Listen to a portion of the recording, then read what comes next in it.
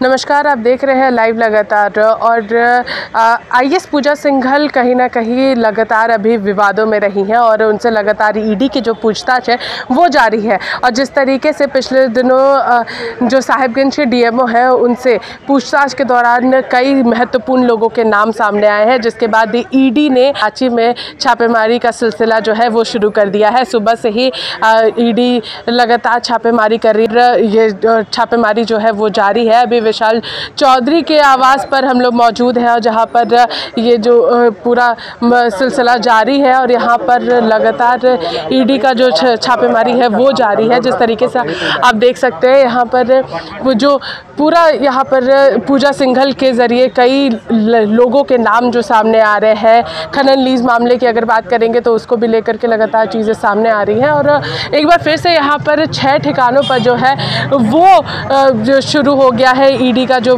पूरा रेड का जो सिलसिला है, वो जारी है छापेमारी जो है, वो जारी है यहाँ पर। अभी विशाल चौधरी के आवास पर यहाँ पर ईडी की छापेमारी जारी है और अन्य कई और ठिकानों पर पूरा ये सिलसिला जारी है जिसके बाद ये पूरा मामला कहीं ना कहीं कहा जा सकता है कि सुलझते हुए जा रहा है। ईडी के पक्ष में सारी चीज़ें आते जा रही है।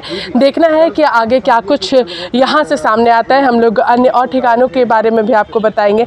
बने रहिए लाइव लगातार के साथ। रांची से मैं पूजा नमस्कार।